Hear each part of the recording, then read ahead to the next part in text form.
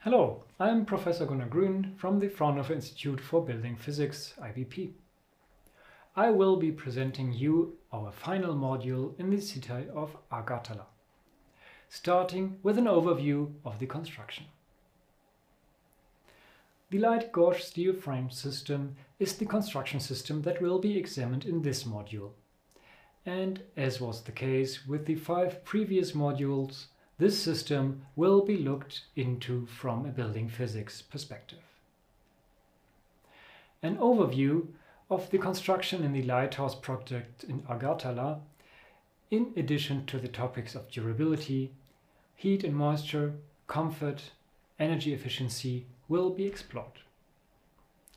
Lastly, a research overview will be given for this construction type used in Agartala. The construction overview will be given for Agartala, focusing on the type of construction used, the process by which it is realized, and the challenges that arise. An overview of the other topics to be discussed in this module will be presented in the end of this unit. Here we can see a video showing the rendering of what the Lighthouse project in Agartala is meant to look like. As the project is still in construction phase, this video gives us an understanding as to what the end result to be expected is. 1000 housing units are to be built by the end of this project.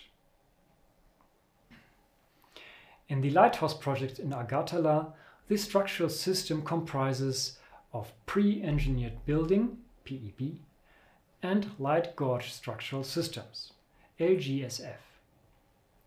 The PEB system is made up of the hot-rolled steel I-sections for beams and columns forming a frame.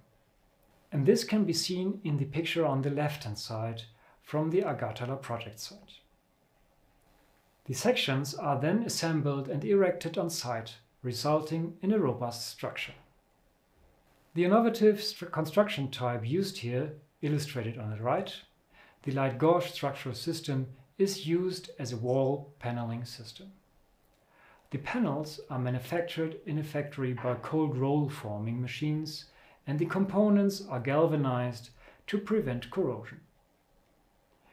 Additionally, they are in a form of C cross sections, having a high strength to weight ratio.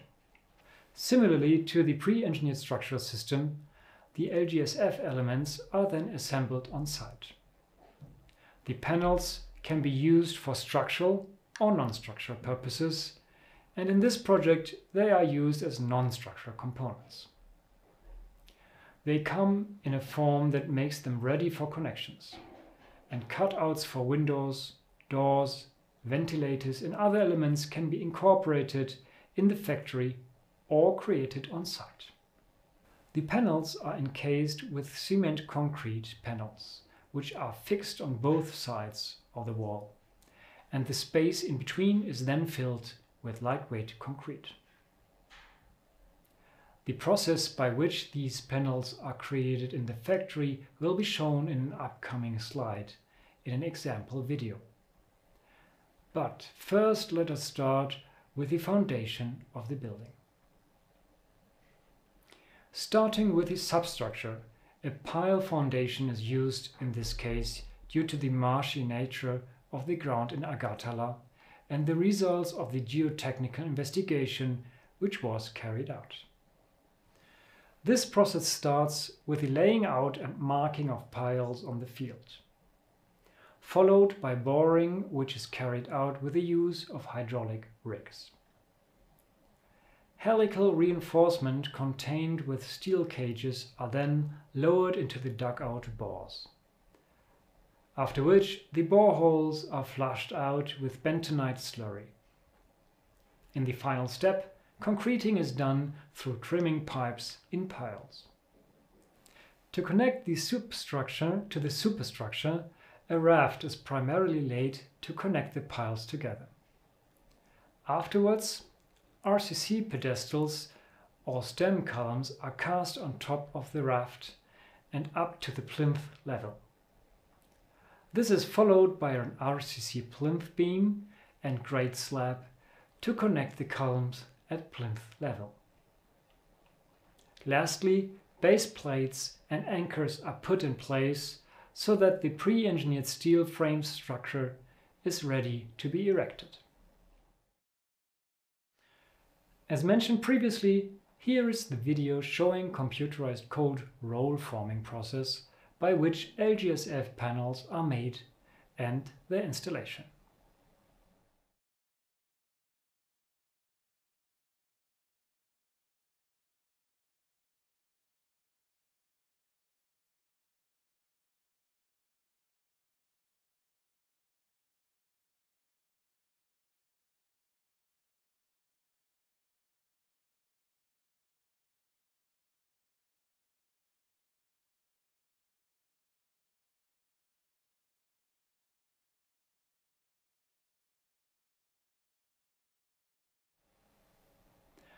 Following this substructure, the process of the superstructure begins.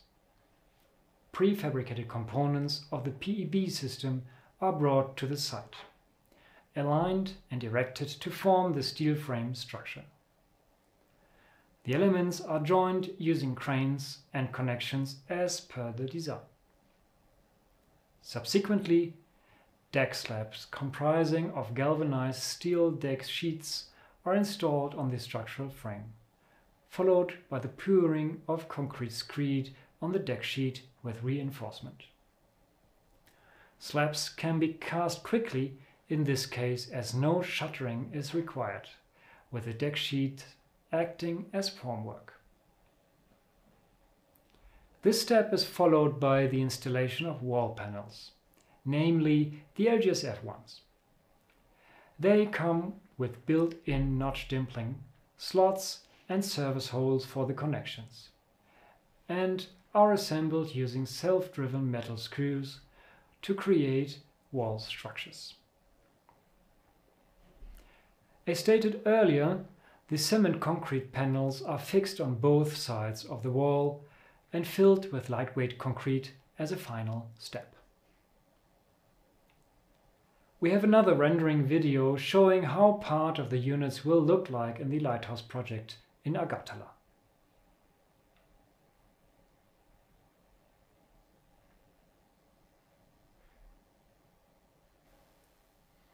With this type of special construction method, building challenges may occur.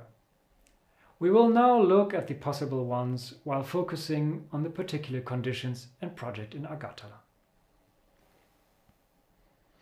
With this, we have gone through the final construction overview as part of the Lighthouse projects. As in the other modules of this series, this module is divided into six submodules also. Based on the information about the project, within this introduction submodule, the second submodule will deal with the heat and moisture transport. In particular, we will look at internal gains, and the storage capacity of the buildings. In the third part, we will deal with energy efficiency and, in the course of this, we'll focus on the calculation of the complete balance. If you have watched all the videos, you now have a comprehensive view on all parts of the balance equation, so we will sum this up in calculating it. In the fourth submodule, we will have a look at the question of how to measure hygrothermal properties, i.e. the characteristic values of materials in the laboratory and why it is done at all. And we will also look at which values are good and which are bad. For example, we will look at the hygrothermal vapor diffusion values and the water uptake of materials. In the penultimate part, which deals with thermal comfort considerations, we will then look at the possibility of adaptation of the PMV model to different climate zones. What does this actually mean? And how could it help in enhancing the comfort evaluation in India? Finally, we will look into the future and give you an overview of what is being researched in the building industry at the moment. Of course, at the moment it's a lot about the topic of CO2 in the building industry and what role bio-based materials play. Therefore, we will have a look at bio-based material, how they have and will be used in the construction sector. I would like to thank you for your attention and I will see you in the other videos that await you to further explore the Lighthouse project in Agartala.